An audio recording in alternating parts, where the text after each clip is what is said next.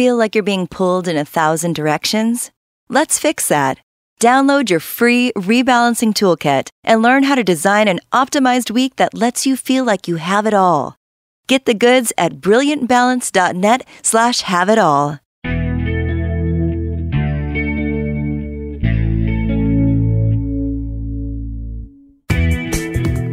I'm Cherylanne Skolnicki, and this is Brilliant Balance, the show for working women who are ready to shine. Each week, I bring you ideas, inspiration, and insight on balance, business, and getting it all done gracefully. You ready? Let's be brilliant.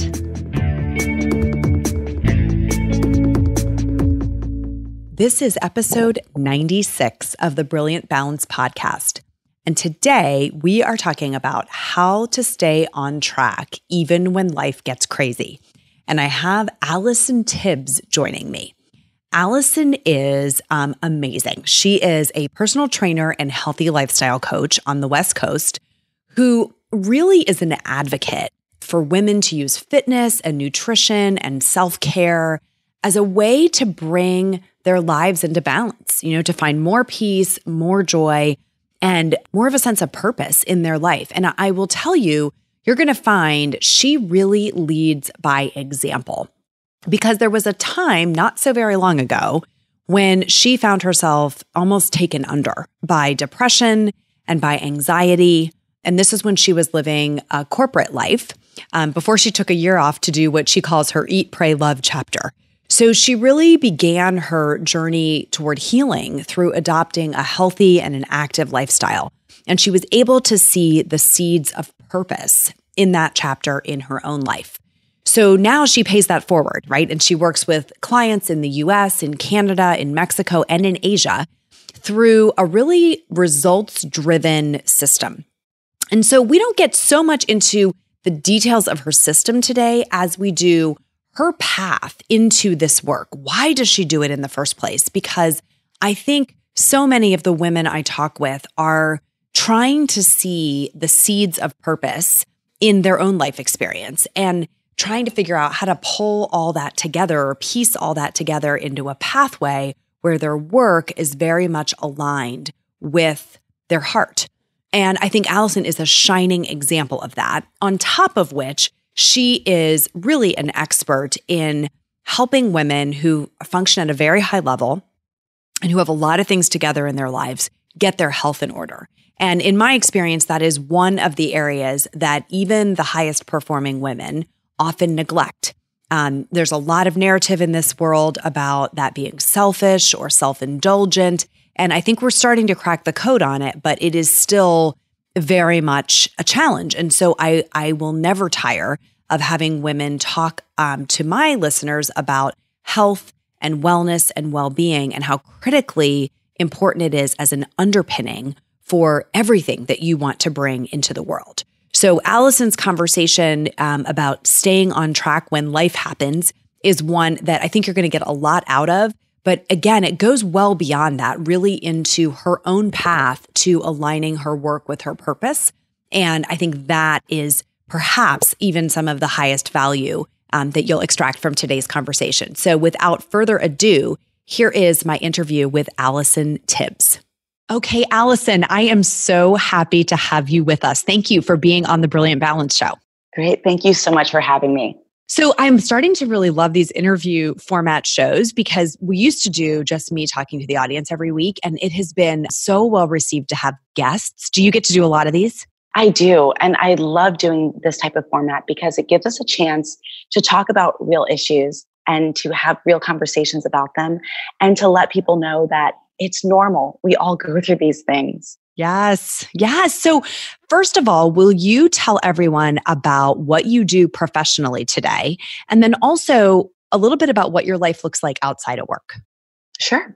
So, what I do professionally is I'm a healthy lifestyle coach and personal trainer. So I'm based in San Francisco and I really work with women to help them redefine what their well being can look like and then help them to put a plan together to live that healthy life and get the results they're really looking for.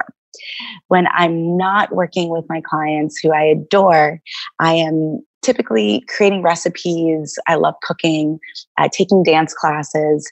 And as of late, it's really just been about taking the time and being open to whatever brings me joy in the moment. I made one of my core values of this year all about freedom. Mm-hmm. So that's been my big thing for this year. That's awesome. So, what does that mean for you when a core value is freedom? Like, what are some of the things you're testing?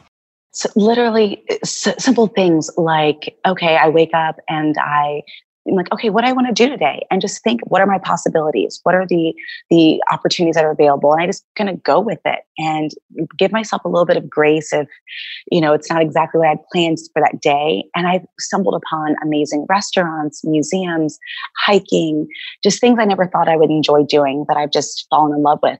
That's so cool. It it reminds me a little bit. I read a couple of years ago Shonda Rhimes' book, um, "The Year of Yes." Have you read it? I have exactly. Yes. And yes. so if you haven't read it, what it reminds me basically her premise is she found she was saying no to a lot of things and decided, I'm just going to start saying yes to like every opportunity and invitation that comes my way and see what it gins up. And it, it opens up all these extraordinary worlds in her case. So I always try to think of that. I can be very routinized. And so it's good for me to stay open to adventure where I can. Exactly. Exactly. Within reason. right. Within, you know, there's a, there's a time and a place for rhythm and for ritual, but sometimes it's good to just stay open to possibilities. One of my favorite words. Exactly. So, the work that you're doing today, what does a typical day look like for you or week? Or, you know, I know that there's probably some variation from day to day. Absolutely. So, on average, I'm working with about five to six clients a day, really just digging deep into mindset, digging deep into habits, creating those plans, doing a lot of accountability, and just really working with them on that step by step process because it can be a bit difficult of working with your health, your fitness, your nutrition, your self care. And it's such a delicate space. So, really taking the time to work with each client. And then, of course, I have to make sure that I'm taking care of my own well being. So, also do my own workouts throughout mm-hmm. the day, you know, eating healthy, taking some time for self care. So it's it's a mix of doing doing what I love and also living what I love to do. So it's it's yes. a nice balance there, which I'm really grateful for. And how how did you find your way to this work? Because you didn't start here. Tell us about where you started. Absolutely. I I started be, I started believing that I wanted to be this marketing executive. So at the age of I think 15 or 16 years old, I remember seeing this thing about marketing executives and I did a class project on it. And from there, I was off and running. I was student council president because I knew that I could have leadership skills. I could put on my you know resume for college and all these things. And I did the whole marketing internships, marketing degree, international business degree, did all of that through college, got the job, worked for a media company lived in Chicago, then New York. And at the age of 25, I took a step back and realized I was very unhealthy. Mm-hmm. I was very unhappy and just felt very unfulfilled.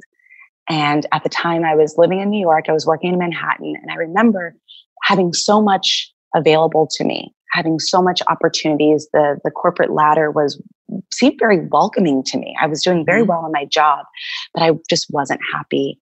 And I remember Skyping with my dad, and he just looked at me and he just said, You are too young to look like the weight of the world is already on your shoulders. Mm.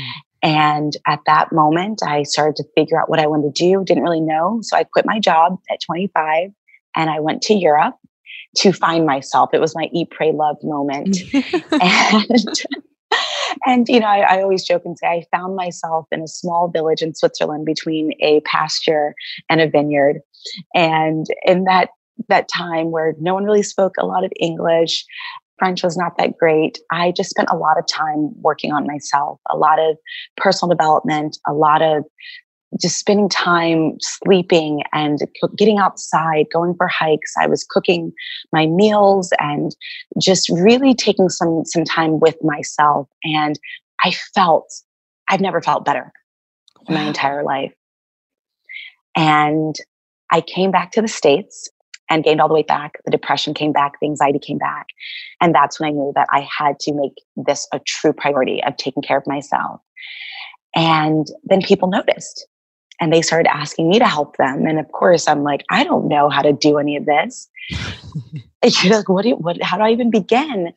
And it was one of those moments where I had to put my, my self sabotaging fears and excuses and the I don't know what to do. I had to put all that behind me and just lean all the way in.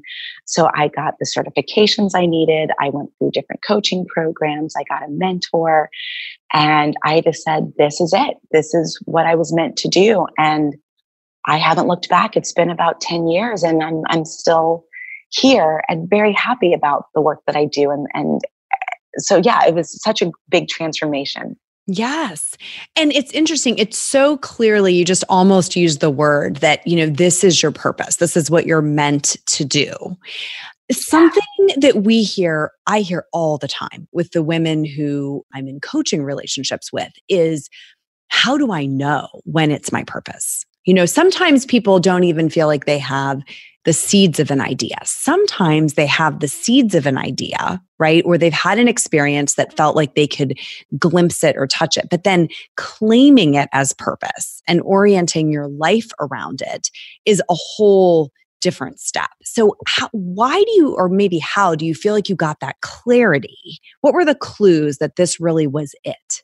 I think the first clue was when I was just living my life. I was living my truth, and people were drawn to that because I feel there at that time as well. I was thinking about maybe starting my own marketing firm and trying some other different things. I had a lot of different pots on the the stove at the time and the one thing that people just seemed to be gravitating towards was was that that version of who I was mm-hmm. and that was where I felt the most at home in my own skin so that was the first clue was by simply just living my life that I was getting this traction. Two, it was when you started to hear how you were helping people. When I would hear people that I would work with or give them one keystone tip or piece of advice and they would take it and a week later, two weeks later, they're messaging me or calling me and saying that worked that that that changed everything for me mm-hmm. so those two things really made it clear that i'm living it i love it and it's providing value to other people and that little trifecta just had me off and running it was a fuel that i needed yeah. So you said, I'm living it, I'm loving it, and it's providing value. That's an interesting little soundbite that, you know, I like the way you wrap your head around that. I'm always saying, I, I get my definition of purpose from Frederick Buechner, and he says it's where, um, uh, like our greatest gifts, I'm paraphrasing, our greatest gifts meet the world's greatest need. So mm-hmm. when it's always rooted in service, isn't it? Purpose is Absolutely. always rooted in service. And I love it when you said like when you're the most yourself. You you said I really felt like I was in my own skin and people were saying, "Gosh, this is helping me so much." Like those two things together often sit at the intersection of purpose. I love that. Yes. Absolutely. What do you love most about your work? Like tactically speaking first. What what activities do you actually love doing in your work today? I I really love having those coaching conversations where we're just attacking things head on, where we are looking at limiting beliefs, we're looking at some of our challenges, our obstacles. And there's something, I, I think it's like magic that happens because you uh, you're able to create the safe space for people to really share and to be open and to be honest. And when you start to see those layers peel away and you start to see or hear the inflection in their voice, it all starting to to come together and that empowerment moment. There's this moment that happens and i'm sure you get this too with working with your clients where something within them changes and you just see how they look at something differently or you see how they phrase their their language around an issue or a challenge. And in that moment you know that that's going to change the whole trajectory of the coaching that you're going to do together and their life that's one of my absolute favorite. I live for those moments because yeah. it's it's just like the mama bird, you know, it's like, okay, they're they're getting ready to fly and and now you get to have fun. That's when the fun begins. So the, having those conversations, I, I, just adore. And, you know, in, in a grander scheme, I think it's also just being able to see them start to f- just figure out what's going to work for them and mm-hmm. and getting them excited about health and wellness or, or just anything in general any obstacle they have in their life seeing the other side of it that's for me it's, it's i love it i that's what keeps me going every single time yeah, it's interesting. You love the one-on-one. You know, you love the personal transformation that you're witnessing and and seeing that crack open in someone. And I think it's it's very powerful and it's becoming more rare because so much of the coaching industry and across all disciplines is moving to group and scale yeah. and course. And so that the the impact of really walking that path with someone one on one is where you get those moments. Exactly. it's fascinating. What do you what do you like the least? Because this is i think this is a myth that when you're living out your purpose it's all sunshine and roses right? You and i both know it's not. So what what's something that you don't like about your work these days but you have to do it because it's connected to the purpose? Well it's it's that double-edged sword that personal coaching that more intimate type of coaching because on the flip side it's when you're dealing with very delicate things, right? You're dealing with um, stories that we've told ourselves about our ability to lose weight, to get healthy. Um, our worth as women is tied up into our physical appearance a lot of times, our, our competence. So uh, for me, on the flip side, it's that when you see that start to to trickle in or start to rear its head back into the progress that we've made because as a coach I I want the success of every person I work with sometimes I feel like more than they want it, and not because of of of where they are, but just because of what I see, of the potential I see and everyone that I work with. And so when you see that start to happen, you see that shift, you see that energy change. It's I try not to take it personal, right? Because it's like, but we were doing so great. And then you let this one comment just totally deflate you and take you back to square one. And so being able to care for them in that moment in that space but also being able to find the tools and give them the the skill set and the mindset and the push that they need to get out of that valley that to me is, is one of the things that just really sometimes gets me i take it personal you know mm-hmm. i think for mm-hmm. me i internalize it i feel like i'm a horrible coach and you know i just have to remind myself that it's part of the process mm-hmm. and that it only makes me stronger and better. It helps me to be agile, but it also helps the person that I'm working with because it also lets them know that this journey is not always rainbows and butterflies. Either. Right, right. Okay, ladies, who's ready for two days of big ideas and fun experiences with a group of extraordinary women? We've put together a high energy venue and a girlfriend getaway vibe just for you. If that sounds like your idea of a good time, then please join me at our next Brilliant Balance Live. It's in Cincinnati on September 26th and 27th, 2019. And tickets are on sale now at CherylanneSkolnicki.com forward slash live. Come learn how to chase your biggest professional dreams, raise a thriving family, and still fiercely protect breathing room just for yourself. I'm going to help you find a new rhythm for getting things done, one that keeps you focused, energized, and fully engaged. Your life, it's about to get a major upgrade. Get your tickets today. The link is in the show notes. Well, yeah, I think it's interesting because the the when you're emotionally invested in your work, right? The highs are higher, but the lows are lower you know exactly. you're walking through that pain with them what so i wonder this a lot of the women i know i felt this when i was working in the health and wellness industry and and i wonder if you can relate to it do you feel like sure. you hold yourself to an impossibly high standard because you know people are watching what you're doing you know when i first started out i did and you know i i will be the first person to admit that. I tried to make sure that i looked a certain way that i was eating perfectly amount of calories in calories out working out every day. And what i realized that actually was creating a barrier between mm-hmm. myself and the people that i wanted to connect with because i was living at this this level of you know quote unquote perfection that's almost impossible to live that it was so intimidating for other people Right. And it was, well, how can I do it? And I remember I posted something on Instagram. I'm, I'm a big Instagram person. And I remember posting a picture of me eating a burger. And it was like I broke the internet. it was it was this crazy moment and a huge shift where people saw that I was human.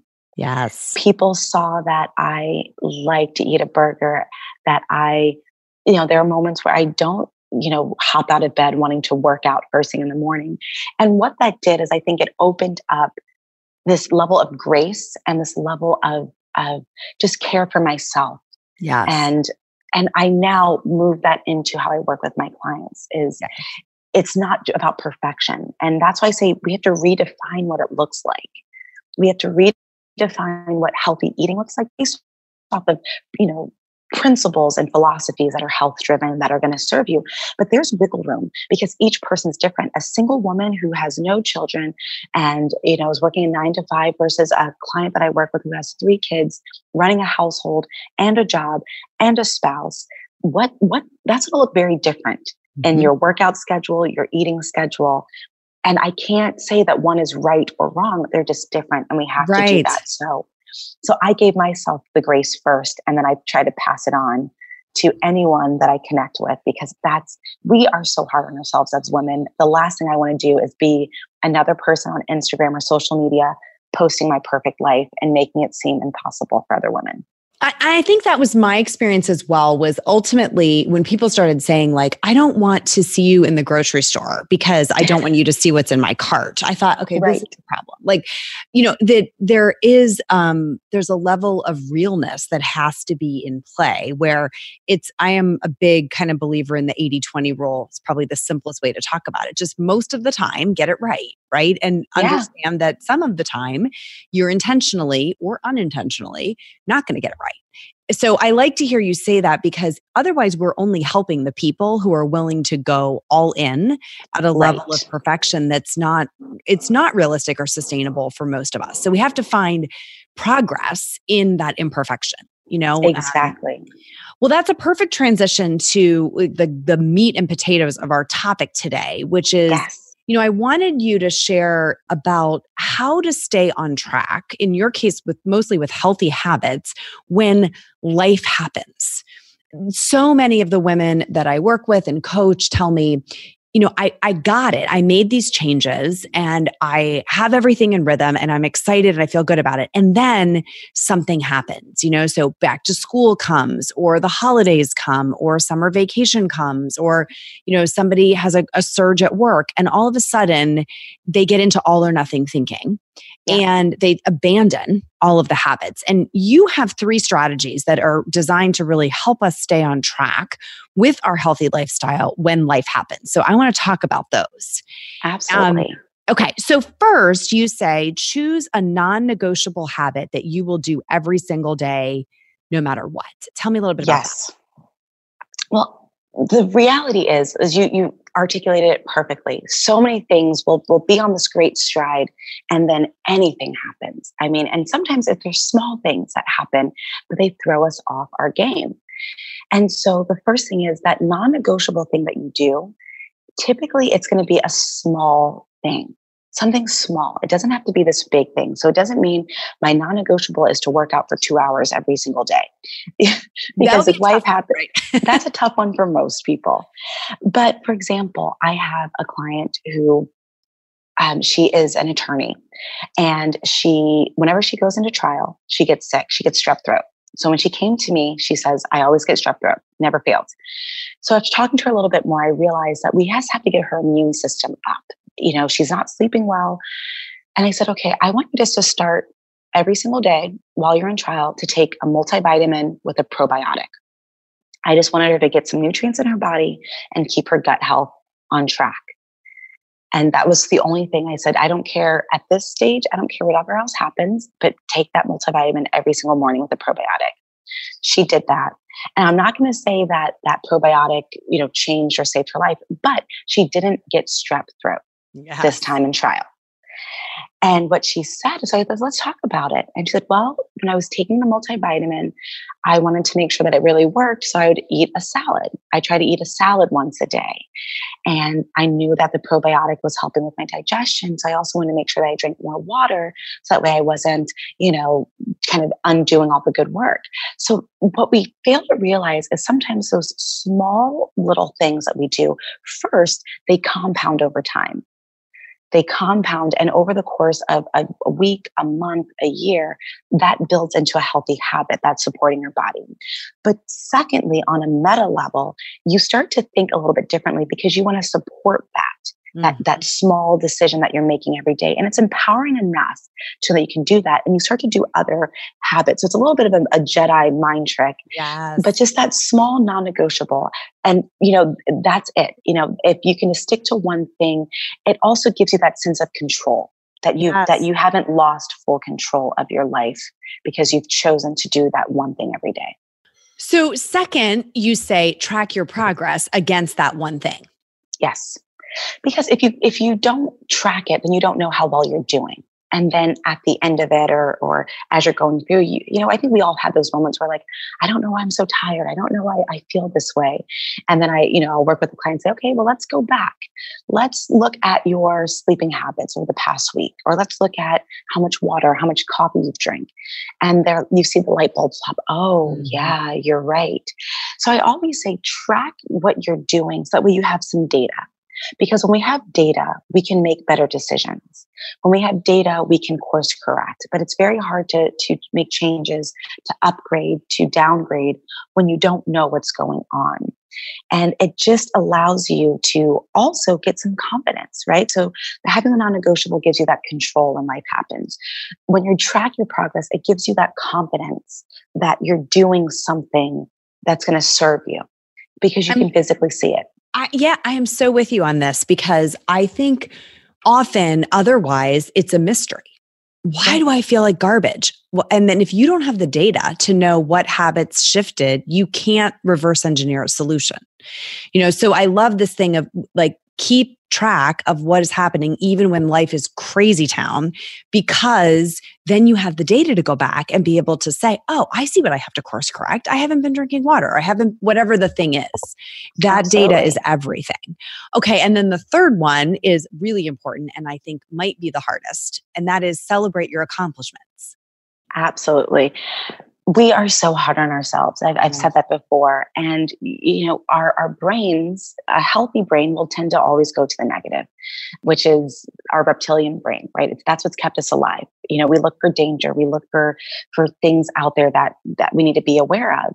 And so what I like about celebrating is that it, it kind of retrains that reptilian brain a little bit. You know, we're no longer in a space where we're at danger of being eaten by saber-toothed tigers. So we don't necessarily need that all the time. And so changing that that mindset of celebrating whether it's big things or small things, it does something to that process. And, you know, what I'll typically do is I have my non negotiables for the day. And if I do that, I'll reward myself. Sometimes I reward myself with taking a bath. Baths are like, in my mind, I think a bath solves, solves every problem. There's no problem that cannot be solved with a bath. I, I think I've tested that theory enough.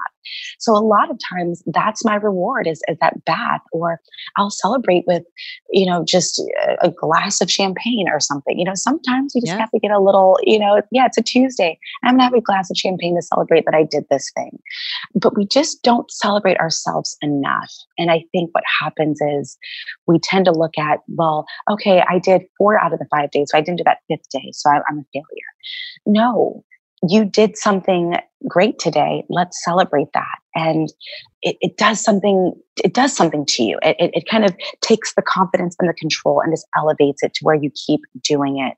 And when you can also get people involved in your celebration, it can be really fun. One of my clients at the end of the week, they all have their non-negotiables for her children, her husband and herself. And at the end of the week, they do a pizza party.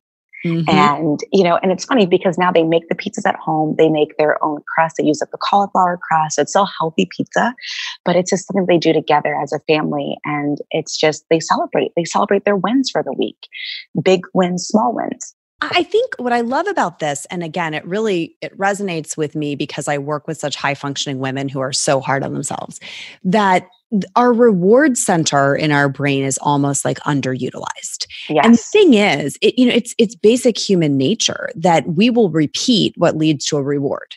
So as soon as your brain makes that connection, like I did this thing that's good for me, and there was a positive reward or outcome that honestly was a little more short term than we're used to. Most of right. us, you know, again, I think very high functioning women are super attached to delayed gratification. It's part of what got us here. So we keep pushing the reward out further and further. But yes. bringing that timeline in and saying, look, I got through a week, so I'm going to have a reward that is right sized, you know, it matches yeah, the exactly. effort it, you activate that cycle of I do this thing, I get a reward, right? We're like the little rat in the cage. So yeah. it, it's really important that you don't look past that. I, I, can just almost envision people rolling their eyes like, uh huh, I got one and two, but eh, I don't need rewards.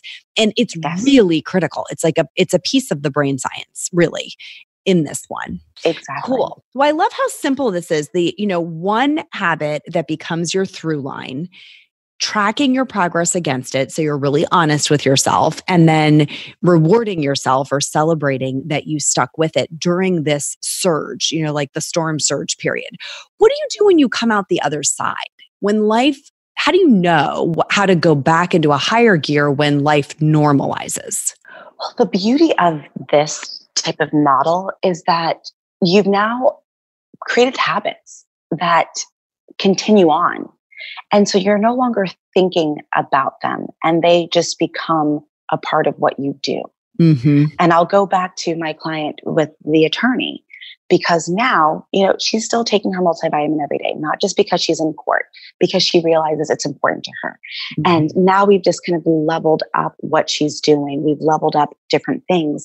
And it's been really great to see that she doesn't have to use these crisis mode things anymore. It's just a part of who she is and she she likes it and yes. she feels good about it.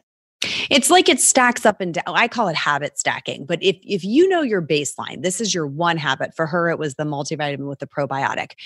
Knowing what do you stack on second, third, fourth. So when you're feeling really strong, you've got a stack of habits that you're able to sustain.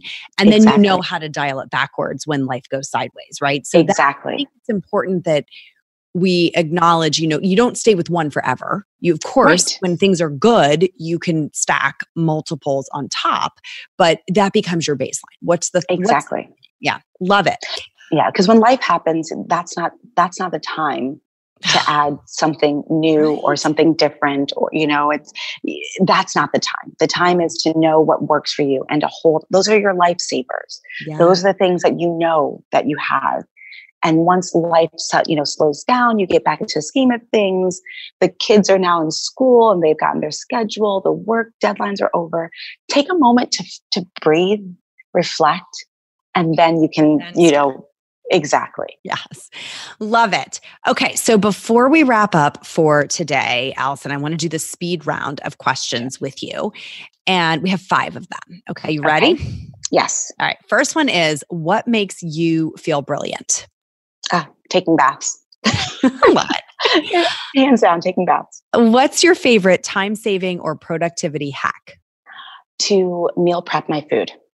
Such yes. Yeah. What have you learned to say no to? Attending events that don't bring me joy. I'd rather stay at home in that case. I'm with you. I call, I call it JOMO, the joy of missing out. I love it. What is one dream that you're chasing these days? Starting a podcast. Yes. And what's the song that you turn on when you need to get in the zone? Anything Beyonce. I love it. so good. So good. She is definitely on a lot of people's top list for that. So, Allison, thank you so much for joining us today. Where can people find you online? Sure. Well, one, thank you for having me. This was so much fun. You can find me online. You can go to allisontibbs.com. If you check any social media platform, Instagram is where I'm typically the most active. You just find me Allison Tibbs. I'm there doing a lot more of my tips and sharing videos and recipes and time saving tips and tricks. So that's typically where I, where I live. Perfect. And we will link those in the show notes so people can simply click through to find you. Perfect. And I will tell you, Allison has a fantastic food blog with just gorgeous photography. It's going to make you want to eat healthy. So take a look at what she's got. And thank you again so much for joining us. Thank you for having me. All right. I hope that you enjoyed my conversation with Allison Tibbs as much as I enjoyed having it. She is such a delight and doing such good work in the world. And it is just always inspiring to speak with someone who has truly made the leap to aligning her work with her purpose. And you can hear it in every word, every syllable that she speaks that she believes so deeply in what she is doing um, that it fuels her from day to day.